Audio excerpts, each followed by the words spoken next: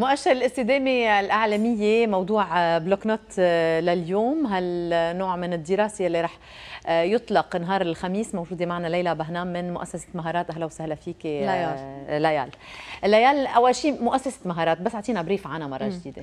مؤسسة مهارات هي مؤسسة تعنى بتعزيز حرية الرأي والتعبير بتشتغل على عدة برامج وعدة قضايا بلبنان بيناتها بيناتها تطوير الأطر القانونية لكل شيء بيتعلق بقوانين الإعلام وبيتعلق بتعزيز حرية الرأي والتعبير مثل الرقابة وغيرها وبتشتغل أيضا على تدريب طلاب الإعلام والإعلاميين الشباب لتغطية تغطية إعلامية بمقاربات ثانية آه، أكيد بتحترم حقوق الإنسان وغيرها من البرامج. وأيضا بتشتغل على دراسات كمان بمجال الإعلام نشر دراسات بمجال الإعلام. منهم هالدراسة اللي رح نحكي عنها هيدي الدراسة آه، هيدي الدراسة ايركس اللي هي منظمة دولية بتشتغل على آه، على تطوير قطاع الإعلام بالعديد من البلدان وبتنشر أيضا دراسات من بلدان مختلفة بشمال بشمال أفريقيا وبآسيا. اسيا آه، بلبنان هيدي الدراسة آه، انعملت بالشراكة مع مؤسسة مهارات. هيدي السنة الثانية على التوالي اللي مؤسسة مهارات عم بتقوم فيها. آه، الدراسة هي عن كيف المستهلكين يعني فيها عدة أهداف. اللي قامت فيه مؤسسة مهارات هو الهدف السادس اللي هو المواطنين كيف بيشوفوا كيف بيشوفوا الإعلام؟ يعني من وجهة نظر المستهلكين للإعلام. السنة الماضية كان العكس مختلف أو كان الهدف لا مختلف ذات الهدف. يعني مهارات بتشتغل على ذات الهدف اللي هو المواطنين كيف بيشوفوا الإعلام؟ هل هو آه، بيعكس فعلا القضايا اللي هن بيحبوا إنه يشوفوها بالإعلام؟ وبتتابعوا التطور هالموضوع من سنة لسنه يعني بيتغير مع مع الوقت مع الظروف أكيد يعني مع تطور الإعلام؟ مع طبعا. يعني هيدا المؤشر اللي هو لسنة 2012 نحن بنقوم فيه بس تنتهي سنة 2012 يعني آه، عملنا المنهجية المنهجية المتبعة هي وحدة بكل بالعديد من الدول لأن مثل ما قلت لك بينعمل بعدد بعدة دول كل بلد عنده مؤشر استدامة إعلامية له فبالنسبة للبنان بنقوم بعد انتهاء السنة يعني بال 2012 بس خلصت.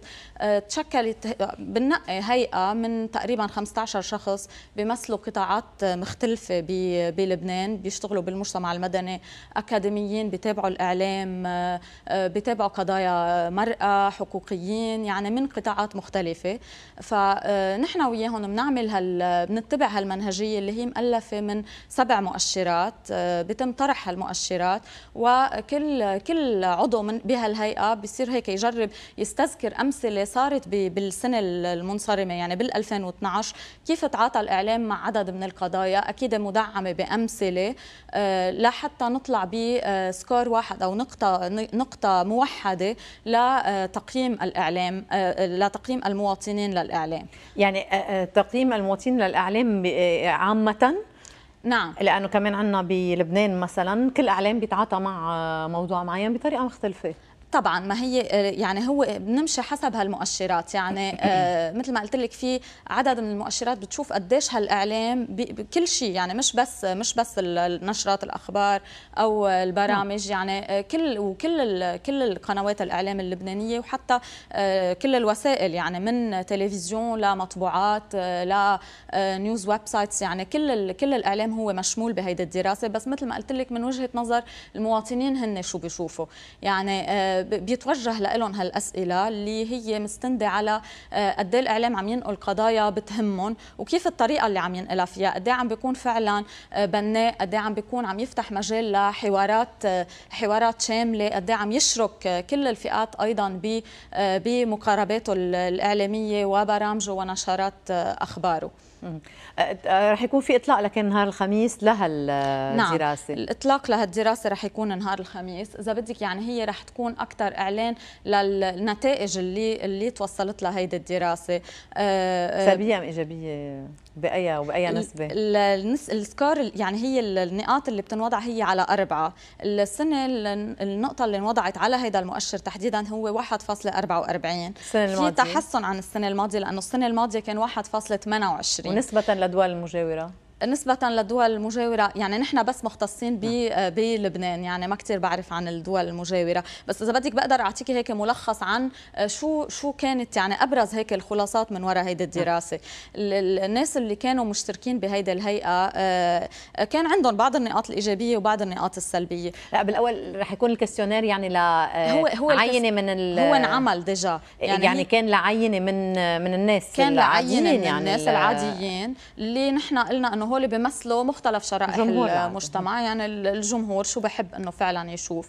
آه، آه، أبرز الخلاصات كانت إنه الإعلام بسنة 2012 كان في كثير من المعلومات. يعني ما كانت ما كان شغله ما كانت شغلة سلبية بما انه عم تسأليني إذا سلبية أو إيجابية. يعني كانت إنه في كثير معلومات بالإعلام. ولكن قد إيه الإعلام المشكلة كانت إنه قد إيه الإعلام عم يقدر إنه يأثر إن كان بالرأي العام أو إنه يجعل السلطات السياسية أو يكون في نوع من المحاسبة آه، تجاه السلطات السياسية. يعني هل عم يقدر يقوم بهذا الدور؟ لأنه هذا أيضا آه، أحد المؤشرات بيتعلق إنه قد إيه الإعلام عم يقدر يقوم بهذا الدور إنه يحاسب السلطات السياسية. فكان في كثير أمثال وكثير كثير أمور. مثل ما قلت لك في أشياء إيجابية اللي هي وفرت المعلومات بالإعلام اللبناني ولكن بذات الوقت عدم قدرته على التأثير بالحجم المشاكل اللي بيعانيها آه، البلد.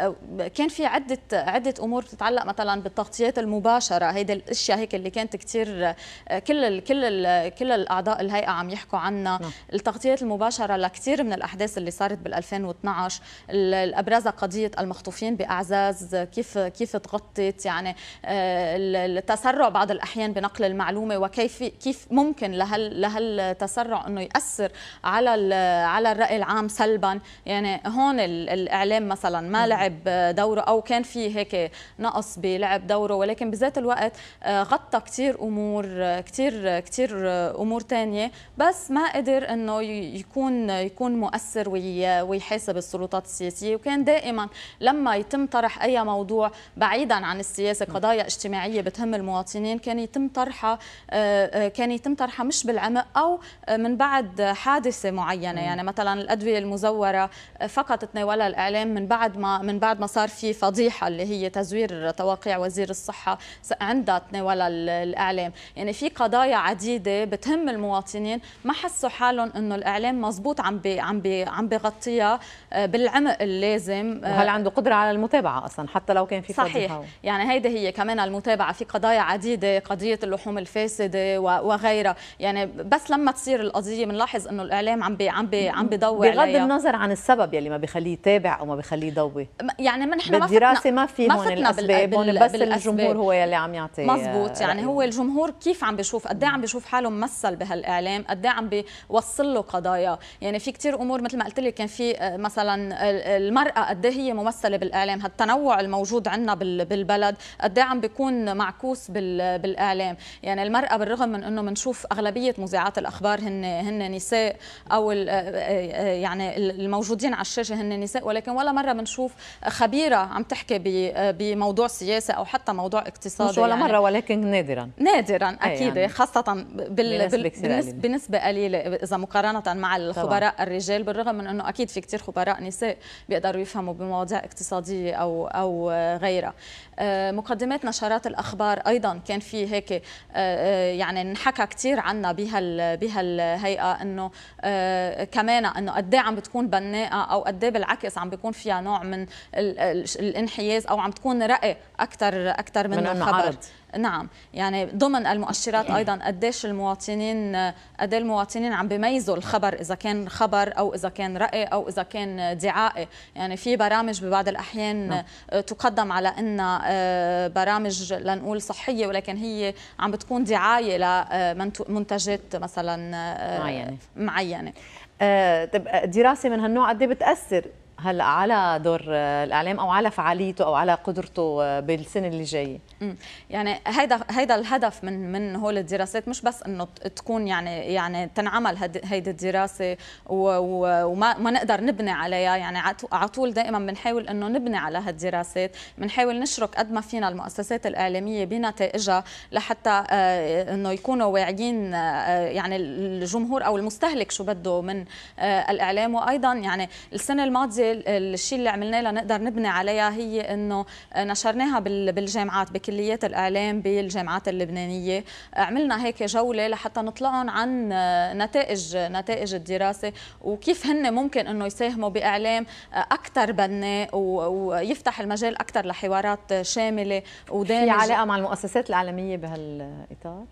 أكيد. يعني السنة الماضية كان معنا أستاذ وليد عبود بالجولات اللي عملناها بالجامعات لحتى آه، ننشر وعي الطلاب أكثر عن عن الإعلام ودور الإعلام كيف ممكن إنه يكون بناء وكيف ممكن إنه آه، يضوي على كل هالتنوع الموجود بالبلد بطريقة إيجابية مش مش سلبية. أهلا وسهلا فيك ليال بهنام من مؤسسة آه، مهارات. وإذا نحن بانتظار يعني تكون هالدراسة على العلن ونشوف شو هي نتائجها شكرا لك. مشاهدينا وقفه هلأ وبنرجع نتابع